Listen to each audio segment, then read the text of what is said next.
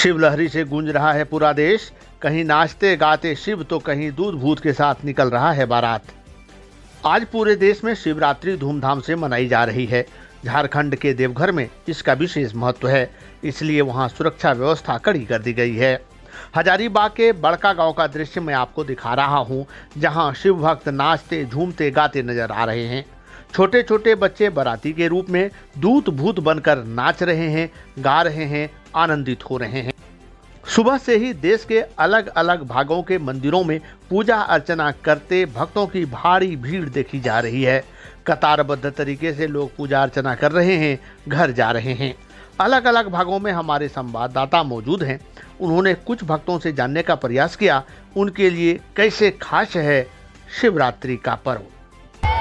देखिए, ये देवाधिदेव महादेव का महाशिवरात्रि त्यौहार बड़का गाँव में हर वर्ष की भांति बुढ़वा महादेव तक जिस तरह से शिव बारात लेकर के लोग आते हैं और ये पर्यटन के क्षेत्र में भी बुढ़वा महादेव बहुत विकसित हो रहा है और निश्चित रूप से बुढ़वा महादेव जी का आशीर्वाद इस पूरे बड़का गाँव विधानसभा क्षेत्र में पड़ रहा है। और यहाँ महाशिवरात्रि के उपलक्ष्य में यही कहना चाहता हूँ कि हमारा क्षेत्र में सुख समृद्धि और शांति बनी रहे। यही हम कामना करते हैं बाबा देवादेव महादेव से यही मांग करते हैं कि मुझे भी वो शक्ति दे और ख़ास करके हमारी बेटी अम्बा प्रसाद जो इस क्षेत्र के विधायक है, उसको भी शक्ति दे।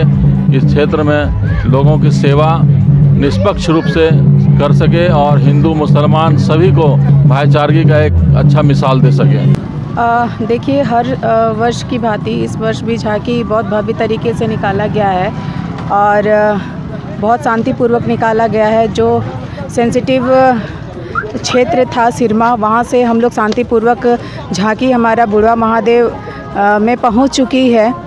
और काफ़ी हर्षोल्लास के साथ यहाँ पे बुढ़वा महादेव की झांकी पहुँच चुकी है। अब यहाँ पे कार्यक्रम भी होगा, सांस्कृतिक कार्यक्रम भी होगा, जागरण भी होगा। और बहुत अच्छे और बहुत भव्य तरीके से हो रही है। और मैं आपके माध्यम से, आपके चैनल के माध्यम से जितने भी दर्शक देख रहे होंगे, मैं सभी को महाशिवरात्रि पूजा की ढेर सारी शुभकामनाएँ, ढेर सारी बधाई देना चाहती हूँ।